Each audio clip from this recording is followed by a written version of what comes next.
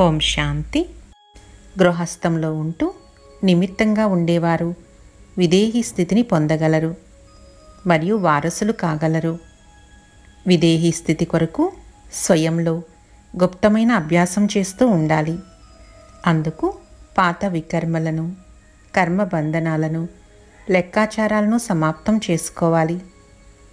విదేహీగా కావటానికి గృహస్థంలో ఉంటూ కర్మల గుహ్యగతిని అర్థం చేసుకుని కర్మలపై గమనమిస్తూ కర్మ బంధనాల నుండి తేలికగా కావాలి.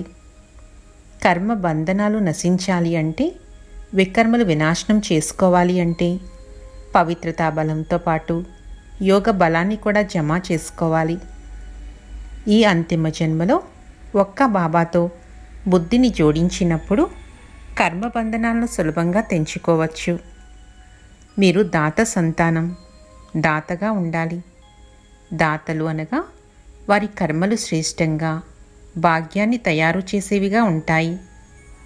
అహంకారం అధోగతిలోకి తీసుకువస్తుంది. ఉన్నత స్థాయిని చేరనివ్వదు. జ్ఞానం యోగం సేవ అన్నిటిలోనూ నేనే ఉన్నతంగా ఉన్నానని భావించడం అంటే సుఖ దుఃఖ బంధనాల్లోనికి రావటమే అవుతుంది. సెకండ్లో దేహభ్రాంతి నుండి అతీతంగా కావాలి.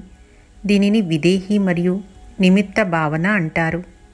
స్వాచింతన ఈశ్వర్య చింతనకు మధ్యలో ఇతర విషయాలను తీసుకువస్తే యోగి జీవితాన్ని తయారు చేయటం కష్టమవుతుంది. డ్రామాలో జరగవలసింది జరుగుతుంది. అందుకే బాబా మమ్మ ఇది ఏది కొత్తది కాదు అనే పాఠాన్ని చదివించారు.